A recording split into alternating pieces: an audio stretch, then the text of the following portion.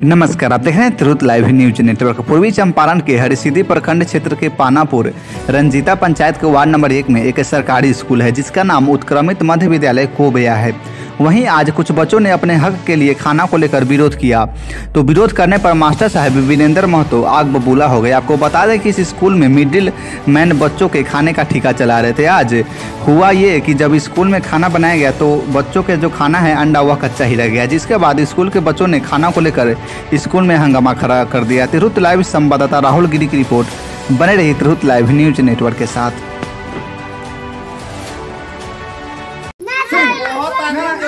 तोनी ऑटो लगन हम सुना तानी। आ तो भी बोलका उ निकाल के पटाए लगल था अंडा काटे लग किचनिया लो बुयर के लौनी बनावे।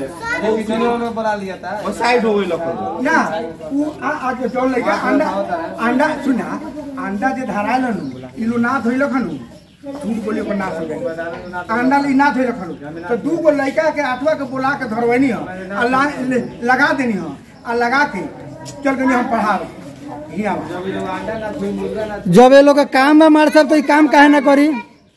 जब वो लोग का काम बा बनावे के खाना तो काहे ना बनाई लो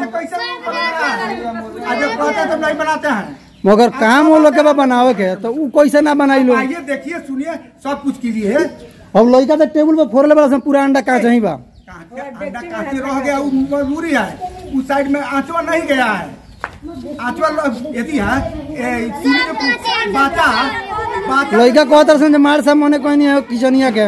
जे। हम ना बनावे के हम बनाए। चौ- चौदह कुंटल को लकड़ी हम मना कर दे। का तो ए, महाराज लड़का रुआ सामने नु बड़ा सो? लड़का रुआ सामने नु बा। लड़का झूठ ना नु बोली? लड़का झूठ ना बोली तो लड़का के मने साथ बोला तो तुम्हें अंडा में क्या ढूक बा? या अंडा अंडा देखी तो ये अंडा पूरा जौन बा पूरा काचे बा तेरे सामने हो रहा है अभी देख चिनो किचनिया तो सब आने से ऊपर दे दे दे दे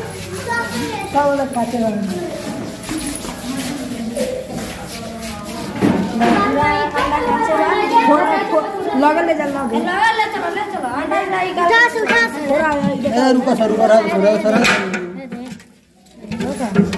उजार का पियर का सब निकला टाटा में